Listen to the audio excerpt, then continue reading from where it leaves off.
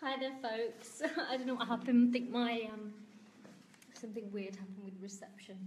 So I'm going to try and continue continue reading from um, Women Who Run with Wolves, um, a book that I believe shares some really insightful, um, relevant, and exciting ideas. It was written quite a while ago, but um, this reading is dedicated to all the wild women out there, um, with a special uh, big bundles of love to my nieces, Fari, Suri, Kavya, excuse me, Kavya, Gia, Priya, uh, Pixie, and my cousin Roma. Hopefully, I haven't forgotten any other little ones there. Um, so, yeah, I'm just going to continue this um, from here. Um, so, the compre- comprehension of this wild woman nature is not religion, but, but a practice. It is the psychology in its truest sense psyche, soul, ology, or logos, a knowing of the soul. Without her, women are without ears to hear, soul talk, or to register the chiming of their own inner rhythms. Without her, women's inner eyes are closed by some shadowy land, and large parts of their days are spent in a semi paralyzed ennui or wishful thinking. Without her, women lose the sureness of their soul footing. Without her, they forget why they're here. They hold on to when they would best hold out. Excuse me. Without her, they take too much or too little or nothing at all. Without the, without her, they are silent when they are in fact on fire. The wild woman is the regulator. She is their heart, the same as a human heart which regulates the physical body. When we lose touch with the instinctive, instinctive psyche, we live in a semi destroyed state, an image and powers that are natural to the feminine and are not allowed to their full development. When a woman is cut away from her basic source, she is sanitized, and her instincts and nature, natural life cycles are lost. Sub- subsumed by a culture uh, or by the intellect of ego, one, one's own or those belonging to others. Wild Woman is the health of all women. Without her, women's psychology makes no sense. The wild woman is the prototypical woman. No matter what culture, no matter what era, no matter what politics, she does not change. Her cycle changes, her symbolic representation changes, but in essence, she does not change. She is what she is, and she is whole. She canalizes through women. If they are suppressed, she struggles upwards. If women are free, she is free. Fortunately, no matter how many times she is pushed down, she bounds up again. No matter how many times she is forbidden, quelled, cut back, diluted, tortured, touted as unsafe, dangerous, mad, or other degradations, she emanates upwards in women. So that even the most quiet, even the most restrained woman keeps a secret place for the wild woman. Even the most repressed woman has a secret life, with secret thoughts and secret feelings, which are lush wild, that is natural. Even the most captured woman guards a place of the wildest self, for she knows intuitively that someday there'll be a loophole, an aperture, a chance that she will hightail it to escape. I believe that all women and men are born gifted. However, truly, there's been little to describe the psychological lives and ways of gifted women talented women, creative women. There is, on the other hand, much written about the weakness and foibles of humans in general, and women in particular. But in the case of the wild woman archetype, in order to fathom her, apprehend her, utilize her offerings, we must be more interested in the thoughts, feelings, endeavours, and endeavours which strengthen women, and adequately count the interior and cultural factors which weaken women. In general, when we understand the wildest nature as a being in its own right, one which animates and informs a woman's deepest life, then we can develop in ways we never thought possible.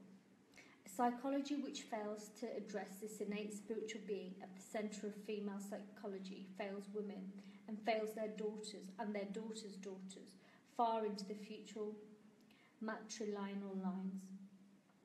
So, in order to apply good medicine to the hurt parts of the wild psyche, In order to right relationships to the wild women, one has to name the disarrays of the psyche accurately.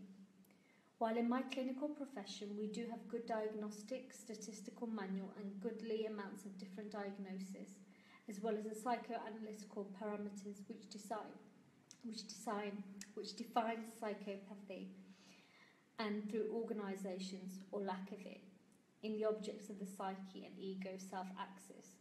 There are yet other defining behaviours and feelings which, from a woman's frame of reference, powerfully describe which is the matter. What are some feeling tone symptoms of a disrupted relationship with the wild voice, force in the psyche? to feel, think, or act in any of the following ways is to be partially severed or lost entirely the relationship with the deep instinctual psyche. Using women's language exclusively, these are feelings extraordinarily dry, fatigue, frail, depressed, confused, gagged, muzzled, unaroused, feeling frightened, halt, or weak.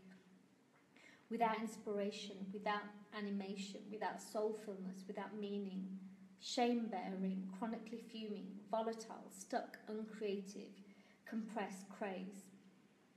Feeling powerless, chronically doubtful, shaky, blocked, unable to follow through, through giving one's creative, creative life over to others, life sapping choice in mates, work, or friendships.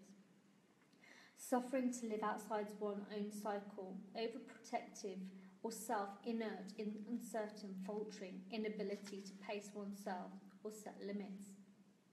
Not insistent on one's own tempo to be self conscious, to be away from one's God or gods to be separated from one's verification, drawn far into domesticity, intellectualism, work, or inertia, because that is the safest place for one who has lost all her instincts. To feel, to fear to venture by oneself or reveals oneself, fear to seek mentor, mother, father, fear to set out one's imperfect work before it is an opus, fear to set out on a journey Fear for caring for another or others. Fear one will run on, run out, run down, cringing before authority, loss of energy before creative projects, wincing, humiliation, angst, numbness, anxiety. Afraid to bite back when there is nothing left to do, afraid to try the newer, new, fear to stand up, afraid to speak, speak against Sick to the stomach, butterflies sour our stomach, cut in the middle, strangled, becoming conciliatory or too nice easily, revenge. Afraid to stop, afraid to act, repeatedly counting to three and not beginning. Superiority complex, ambivalence, and yet otherwise fully capable, fully functioning. These severances are not a disease, not of any era or century. Excuse me. yogi tea.